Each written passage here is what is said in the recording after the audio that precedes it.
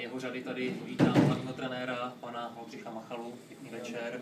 Za domácí tým hlavního trenéra Marka Kalivodu. Pěkný večer. Poprosím obě strany, aby toto uh, určitě zajímavé, vyhecované moravské derby okomentovali, jak je viděli ze svých trenérských pozic. Nejprve tedy, jak velí slušnost samozřejmě hosté. My jsme ten zápas prohráli zaslouženě, hlavně v první půlčase jsme si ho prohráli úplně sami, protože jsme nehráli vůbec důrazně domácí, byli důraznější, agresivnější. Měli tlak, měli tam nějaké příležitosti, šance, ty nedali, až potom byl takový ten spíš náhodný gol, který jsme dostali, ale ta první půle z naší strany byla hodně, hodně špatná. Takhle se hrát prostě nedá o, o body, hlavně tady ve protože Zlín má kvalitní místo, že s tím jsme nemohli vůbec uspět do a půl, si myslím, když jsme hráli o desíti, tak jsme tu hru i docela vyrovnali. Měli jsme, měli jsme nějak, že tudy příležitost, ale tady jsme se dostali do nějaký šanci.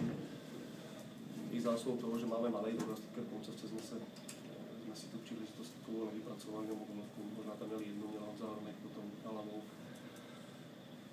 Navíc jsme se nedostali, asi jsme víc sil na to nemohli, nemohli jsme tady uspět proti, proti domácím, kteří hráli velmi dobře, my jsme hráli o desítí a těžko s tím zápase něco šlo udělat. Skoro jsme si vlastně ten druhý, druhý gol je vlastně snad špatná rozehrávka a domácí to potrestali, že s tím už potom nešlo nic dělat a domácí hráli slovo. Děkuji tedy za hodnocení pana Machalu. Teď poprosím Marta Kalivodu o hodnocení z domácí strany.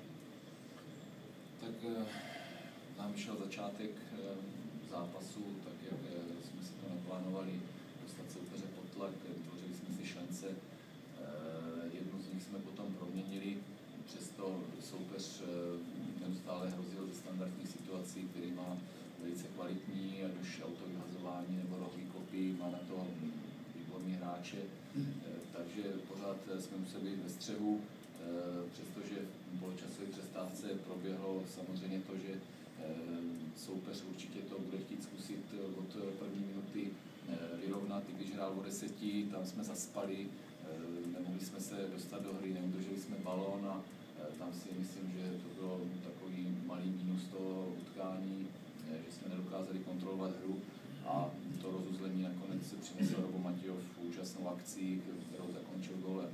Takže to byl rozhodující moment a pak už samozřejmě jsme byli schopni ten zápas dovést do vítězného konce. Já jsem hrozně rád, že to je zase s nulou, že zase jsme neudrželi gól, že jsme dokázali po porážce v Pardubicích se zase nastartovat na vítěznou notu a kluky můžu jenom pochválit. Děkuji tedy za počáteční hodnocení také ze strany